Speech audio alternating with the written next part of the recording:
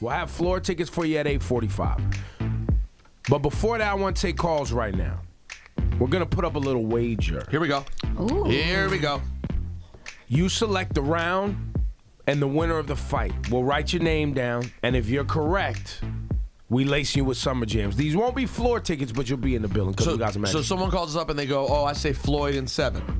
If that happens, they win tickets. That's right. Monday. And once in our six. once our chart here, our brackets is full. That's it. So we got 13 different options here Wow, to go this is gonna be for. 14. All right, take 15. 15. Yeah, yeah, definitely 15. Right? That's 15 total options. Two decisions, a draw, and then.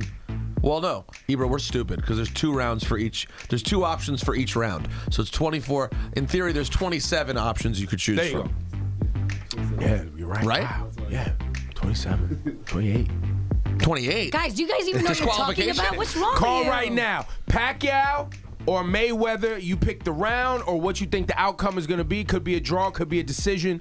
You pick it. We write you down. Summer jams. Call right now. We all talking Pacquiao, Mayweather, and we set up a little way for y'all to, I guess, make a wager. Is the best way to describe it. Yes. A guess, an Yeah. educated guess. We got 27 different options.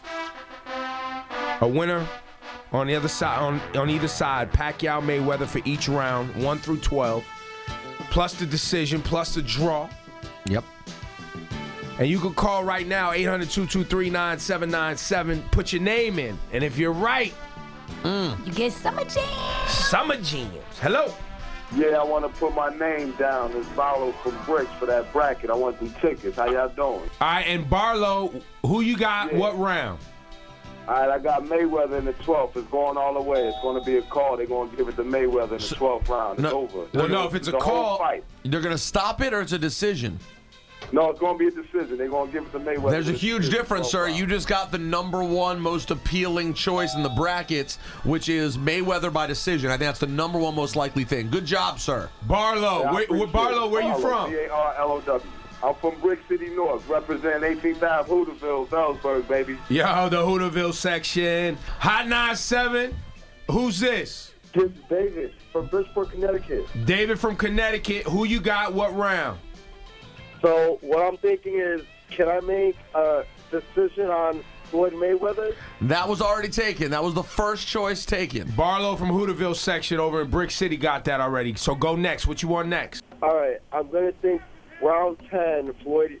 Round 10. You sure? David Lopez, we got you round 10 Mayweather. So thank you. Hang on. I'm going to get some info from you. Hang on, hang on. So look, this for everybody though. We're going to fill up this whole thing right now. You call 800-223-9797. So you see Barlow, Brick City, Hooterville section got the decision for Mayweather. That's like the the odds of him winning very high. And then you got David Lopez took Mayweather in 10. I would have taken. I would have taken next. I think after Mayweather decision, I think Pacquiao decision is the next best thing. Those are the two things you want to go for first. Yo, whoever calls up here right now and goes, I'm taking a draw, I think there's a high likelihood that this might go to a draw. I mean, you might be right, but draw generally pays out much better than everything else because in theory is less likely.